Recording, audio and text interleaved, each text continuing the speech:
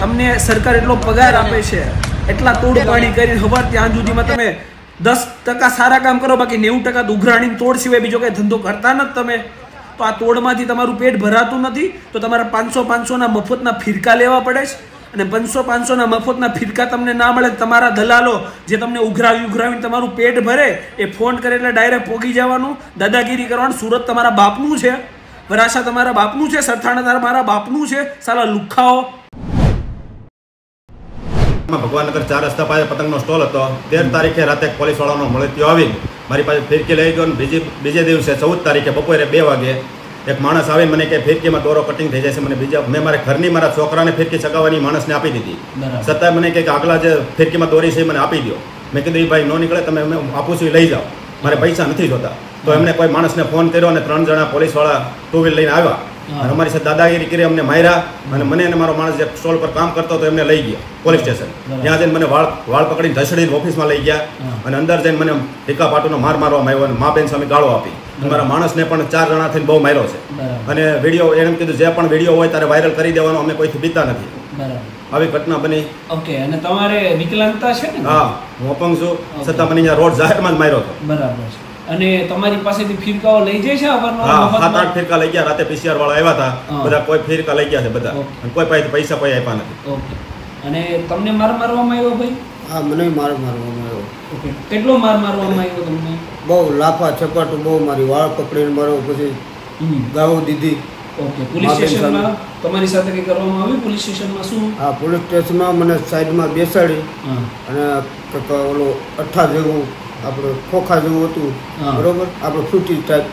એ મને પરાણે જબરદસ્તીથી પીવું બરાબર. બરાબર? પછી મને મશીન વડે ફૂંક મરાવે બરાબર. એટલે તમને દારૂ પીવડાવ્યો ટૂંકમાં. પીવડાવ્યો દારૂ પીવડાવી અને પછી દારૂનો ખોટા ખોટા કેસ બનાવ્યા તમારી પર બસ. અને- બળ જબરીથી બહુ માર્યો પછી મને કે પી ન કરી કે હજી મારશું. બરાબર. હું ડરી ગયો. ડરીને પછી મેં પીધું. બરોબર કડવું કડવું લાગ્યું એટલે મેં જેમ ફામ ઓલું કરી નાખ્યું. તો પછી એણે મશીન વડે મોઢામાં મેકીને મને કે આમાં ફૂંક માર. કે તારી ઉપર કે કેસ બનાવી નાખો છો તને છોડવામાં નહીં આવે. પીએસસીએ મોકલાવ્યો છે ને તો પીએસસીને પહેલાં જણાવો. કે પહેલાં મારી સામે ગુનો નોંધે. બરાબર? તો ગુનો નોંધાઈને પછી તપાસના કામે મારી ઉપર એકતાલીસ એનું તમે સમન્સ ઇસ્યુ કરજો. એટલે નોટિસ ઓફ અપીરિયન્સ તમે મને એકતાલીસ એ મુજબ આપશો ને, તો પછી હું તમારી પોલીસ સ્ટેશનમાં આવીશ. મારું જે નિવેદન આપવાનું હશે ને, એની માટે આ બધા છે ને, આ તુછલા વેડા કહેવાય. અરજીના કામે નિવેદન લખાવ. હો અલી લઈ લો. ચાલો. બરાબર? પીએને જણાવજો કે પહેલાં એફઆઈઆર થાય અને કાયદો ન વાંચ્યો હોય તો હરકો એકવાર વાંચી લે. અને પછી મારી ઓફિસની અંદર નોટિસ ઓફ અપિયરન્સ આપવા આવો બરાબર ચલો ધન્યવાદ જય હિન્દ પોલીસ મને જે નોટિસ આપવા આવી હતી એ નોટિસ આપણે સ્વીકારી નહીં એટલે એ સેમ નોટિસ આપણને પોસ્ટ દ્વારા મોકલાવેલ છે. હવે આ નોટિસની અંદર શું છે ને, એ હું આપને સૌને જણાવવા માંગુ છું. આ નોટિસમાં એવું છે કે જે પોલીસ મહાનિદેશક અને મુખ્ય પોલીસ અધિકારીની કચેરી હોય, ત્યાંથી નિર્દેશ જારી થયા છે કે આ સમગ્ર ઘટના બાબતે શું હકીકત છે એ માહિતી મોકલો. એટલે એ બાબતે સરથાણા પીઆઈ દ્વારા મને ત્રણ પ્રશ્ન પૂછવામાં આવ્યા છે. બધા પુરાવા માંગ્યા છે મારી પાસે અલગ અલગ અલગ પ્રકારના. પહેલો પુરાવા મારી પાસે એવા માંગવામાં આવ્યા છે કે પોલીસ એ પાંચસો પાંચસોના ફિરકા ઉઘરાવે છે. એ બાબતનો પુરાવો રજૂ કરો, કોની મારફતે મંગાવે છે, ક્યારે મંગાવે છે. તો પુરાવા હોય ને, ત્યારે જ અમે કંઈ બોલ્યા હોય. એ પુરાવો તો હું રજૂ કરું જ છું. અને પુરાવા તો શું આખી દુનિયા જાણે છે. કે પોલીસ ક્યારે શું મફતમાં લે છે? તકલીફ એ પડે છે કે કોઈ બોલતું નથી અને હું બોલું છું એ કોઈને ગમતું નથી. વસ્તુ એ છે કે તમને મફતમાં લેવામાં શરમ નથી આવતી. પણ જો કોઈ એવું કહે કે મફતમાં લીધું, તો તમને શરમ આવે છે. પુરાવા રજૂ કર્યા છે અને માંગ્યા છે ને એટલે એક કોમ્પ્લિમેન્ટરી, બોનસમાં એક વધારે એવિડન્સ આપું છું. જેમાં ભાગલચાલ રસ્તા ખાતે પીસીઆર વાન એ પતંગના તમામ સ્ટોલ પાસેથી પતંગો પીસીઆરમાં મુકાવે છે. પીસીઆર કહેવાય છે તો ઇમરજન્સી વ્હીકલ જેનું કામ કંટ્રોલ રૂમના દાયરામાં રહી અને ગુનાખોરી નાથવાનું કામ છે. જેમનો ડ્રાઈવર એ પીસીઆરમાંથી ઉતરી પણ ના શકે. જો ઉતરવું હોય તો બીજા કોઈને મૂકવું પડે. એટલું મોટું એને ઇમરજન્સીનું કામ સોંપવામાં આવ્યું છે. પણ એ તમામ કામ સાઈડમાં રાખી અને પીસીઆર વાન એ ફિરકા અને પતંગની ઉઘરાણી કરવા નીકળી પડે ને? ત્યારે અમને દુઃખ પણ થાય. અને હવે જો પુરાવા આપ્યા છે ને, તો આ સંદર્ભે તપાસ પણ કરજો કે આ ફિરકા અને આ પતંગ એ પીસીઆર ને ઉઘરાણી કરવા નીકળવાની કેમ જરૂર પડી હતી. બીજો અને ત્રીજો પ્રશ્ન પૂછ્યો છે જે ટૂંકમાં સમજાવું. એ પ્રકારનો છે કે પોલીસ સ્ટેશનની અંદર દારૂ પીવડાવવામાં આવે અને ખોટા દારૂના કેસ કરવામાં આવે એવા તમામ પુરાવા રજૂ કરવા વિનંતી. આ તો એક એવી વાત થઈ ગઈ, મને એક ગીત આપણું ગુજરાતી યાદ આવે કે મારો ટોડલે બેઠો રે, મોર ક્યાં બોલે? અરે, મોર ટોડલે જ બેઠો છે. હવે એ પુરાવાની તમને આવશ્યકતા છે તો તમારા પોલીસ સ્ટેશનના સીસીટીવી કેમેરા છે. તમે મને શું કરવા પૂછી રહ્યા છો? જ્યારે તમે જેને માર્યો છે, એ વ્યક્તિને તમે પોલીસ સ્ટેશનની અંદર લઈ ગયા, ત્યાંથી લઈને એને તમે પોલીસ સ્ટેશનમાંથી છોડ્યો, ત્યાં સુધીના સીસીટીવી કેમેરા આ તપાસના કામે રજૂ કરી દો. દૂધનું દૂધ ને પાણીનું પાણી. ખબર પડી જશે કે દારૂ પીવડાવ્યો છે, માર્યો છે કે નહીં? પણ તકલીફ ક્યાં પડે છે? ભલે સુપ્રીમ કોર્ટનો ઓર્ડર હોય કે પોલીસ સ્ટેશનના ખૂણે ખૂણે આપણે સીસીટીવી કેમેરા મૂકવા, પણ આપણે તો ખૂણે ખૂણે કેમેરા ન મૂકીએ ને, એક ખૂણો ખાલી રાખવો પડે ને, જ્યાં બધા ધંધા કરી શકીએ આપણે. તકલીફ ત્યાં પડે છે કે ઉલટા ચોર કોતવાલ કો ડાટે. તમારે તમારી અંદર મનોમંથન નથી કરવું. અને ઉપરથી પછી આવા પુરાવા આપો પુરાવા આપો. પુરાવાની ક્યાં જરૂર છે? તમે પુરાવા જાતે મેળવી લો ને તમે પોલીસ સ્ટેશનમાં શું કરો છો તમને તો ખ્યાલ જ હોય ને?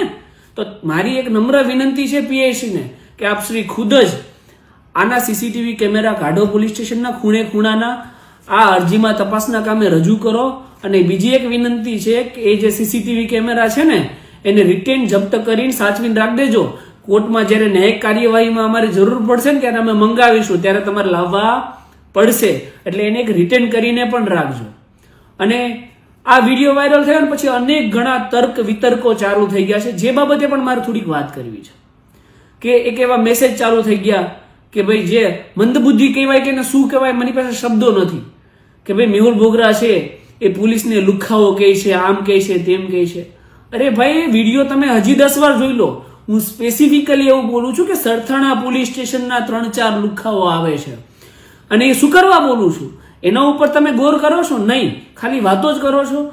જ્યારે કોઈ પણ પોલીસ કર્મચારી જેને રક્ષક તરીકેની એક ડ્યુટી મળી છે જેને પૂરા ડિસિપ્લિન એના ટ્રેનિંગ દરમિયાન શીખ્યા છે અને એ પોલીસ કર્મચારી એમનો મિત્ર ફોન કરે એટલે રસ્તા ઉપર યુનિફોર્મ વગર આવી જાય અને જાહેર જનતા સાથે એક છીછોરો, એક ટપરી, એક છપરી જેમ રોડ ઉપર મારામારી કરતો એમ મારામારી કરવા લાગે ને, ત્યારે એને લુખ્ખા જ કહેવાય એને પોલીસ કર્મચારી ના કહી શકાય. નાનપણથી એક પોલીસની છબી અમારા મનની અંદર રક્ષક તરીકેની છે.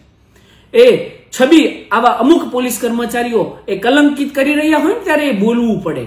બાકી ઘણા પોલીસ કર્મચારીઓ છે જે ઈમાનદાર છે અને આ બધી માહિતી અમને કોણ આપે છે? ક્યાં શું થાય છે? ક્યાં હપ્તા લેવાય છે? એ તમામ ઈમાનદાર પોલીસ કર્મચારીઓ છે જે ડિસિપ્લિનના દાયરામાં રહી છે, લોકોની સુરક્ષા કરે છે અને બેઈમાનીની માહિતી અમને અમારા સુધી પહોંચાડે છે. તો એ તમામ પોલીસ કર્મચારીઓને સેલ્યુટ છે. પણ જે બેઈમાનો છે, જે ભ્રષ્ટાચારીઓ છે, જે જાહેર જનતા સાથે મનમાની કરે છે, ગાળાગાળી કરે છે, મારપીટ કરે છે, એમને તો લુખ્ખા જ કહેવાય. મારી પરિભાષામાં એમને પોલીસ કર્મચારીઓ ના કહેવાય ને એમનાથી નોકરી ના થતી હોય ને, તો એમને છોડી જ દેવી જોઈએ.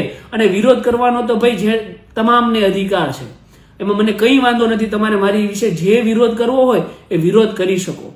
અને આ નોટિસમાં જે આ પ્રશ્નો છે ને, એ જોઈને મને વિચાર આવે કે ભારતની બંધારણની ધારા ઓગણીસ એક એ એ મને વાણી અને અભિવ્યક્તિની આઝાદી આપે છે. જ્યાં સાચું છે અને સાચું અને ખોટું છે અને હું ખોટું કહી શકું, એની માટે આઝાદી બંધારણે મને આપેલી છે. તો મારી આ આઝાદીને છીનવવા વાળા તમે કોણ છો? તમે કઈ રીતે મને એવું કહી શકો કે તમે આમ કેમ બોલ્યા અને તમે તેમ કેમ બોલ્યા? જે વ્યક્તિ ખોટું કરે છે, જાહેર જનતા ઉપર દમન કરે છે, એના વિશે બોલવું એ કઈ ગુનો છે?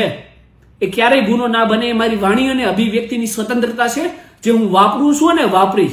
જાહેર જનતા ઉપર જ્યારે પણ દમન થશે ને, ત્યારે એનો અવાજ મેહુલ બોગરા બનશે અને એનો અવાજ જે મંજિલ સુધી પહોંચાડવાનો છે ને, એ આ સોશિયલ મીડિયા દ્વારા પહોંચાડશે અને એમાં એક્શન પણ લેવાશે અને એમાં ન્યાયિક કાર્યવાહી પણ કરાવીશું.